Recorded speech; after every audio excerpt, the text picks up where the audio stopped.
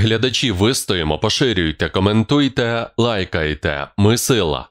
П'ять подій, які роблять минулий тиждень історичним для України у військовому значенні. Зокрема, США надали найбільший пакет військової допомоги для ЗСУ та те, що сили оборони знищили авіабазу РФ в Криму. Пише Сергій Згурець у власному блозі для видання Еспресо. Тиждень, що завершується, на мою думку, дійсно історичний, тому що на тлі інших він виділяється концентрацією п'яти позитивних моментів, які мають важливе військове, військово-політичне та військово-технічне значення, що принципово нового відбулося цього тижня. Найбільший пакет військової допомоги від США. Перше США оголосили про новий і найбільший пакет військової допомоги Україні на 1 мільярд доларів. Отримаємо багато боєприпасів для Хаймерс до артилерії калібру 155 мм і ракет до ЗРК Несемс. Також ми отримаємо медичні БТРи М113, міномети та інші протитанкові засоби. Це важлива ознака того, що підтримка від США лишається в силі і є достатньо ритмічною. Ці обсяги допомоги зростають. Ми вже отримали підтримку на 9 мільярдів доларів з першого пакету, який був оголошений 9 травня. До жовтня і початку ленд-лізу, я думаю, буде ще декілька потужних траншів десь на 3 мільярди. У США далі дотримуються підходу, що Росія не повинна перемогти Україну на полі бою, і реальність це підтверджує. Європа виділяє виробничі потужності, щоб виготовляти зброю для України. Факт другий: Європа стає більш активною, і її оборонна промисловість також починає просинатися від летаргічного сну і переходить на військові рейки. Причому через призму потреб і для України, і для себе. 11 серпня в Копенгагені, Данія, відбулася конференція союзників.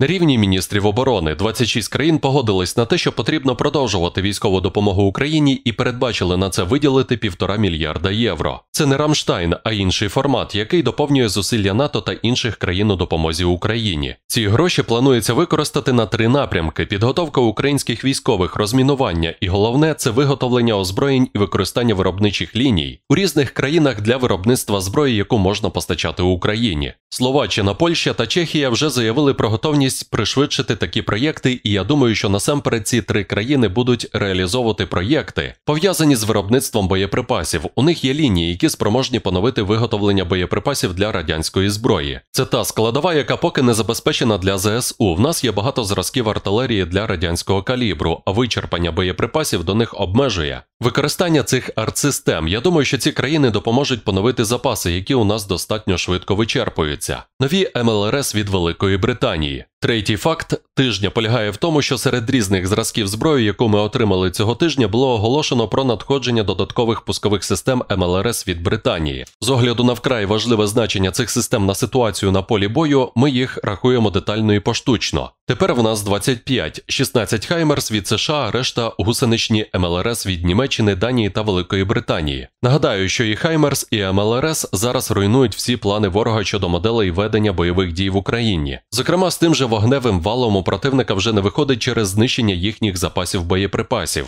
До речі, 70% ударів за останні два тижні припали на південь, де ворог накопичив певні сили, і Хаймерс завдали суттєвих ударів і по командних пунктах, і по базах зберігання, і по мостах. Хаймерс і МЛРС стали довгою рукою покарання ворога, якою досить потужно розпоряджаються наші ЗСУ. ЗСУ знищують російську систему ППО американськими ракетами. Четверта відзнака цього тижня те, що США підтвердили передачу Україні протирадіолокаційних ракет AGM-88 Харм. Це принципово нова зброя у арсеналі української армії. Ці харми були створені ще за часів холодної війни, і вони мали знищувати радянські С-300, які на той час були найсучаснішими системами протиповітряної оборони. Україна почала активно і ефективно використовувати ці ракети проти російської системи ППО. Ці ракети уже рвуть її на шматки. Знищуються російські С-300, С-300В, панцирі, які ворог підтягнув для прикриття військ на лінії зіткнення. Як ми використовуємо харми, залишається секретом, але вони знаходять і знищують російські радари і ЗРК.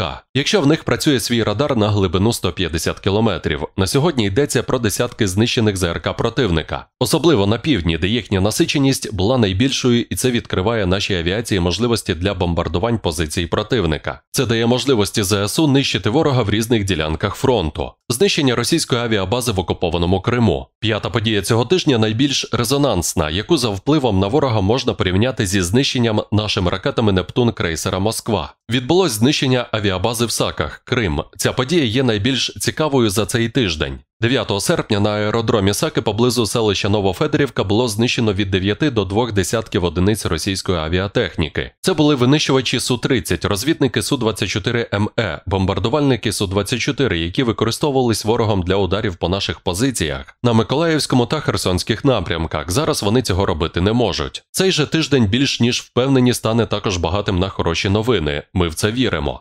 До зустрічі, глядачі, вистоїмо, поширюйте, коментуйте, лайкайте. Ми сила.